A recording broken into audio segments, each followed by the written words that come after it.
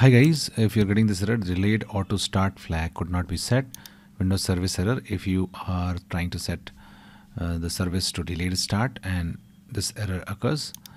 So please note that there are many service which uh, starts in their given order by the Windows operating systems and maybe this is a member of the, those service group which cannot be set to auto delayed start but if you want to do so it can also be done through registry.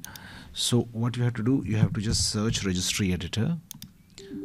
And now in the registry editor you'll have to go to this location. Copy this path. I've given this path in the description of this video. HKEY local machine system current control set and services.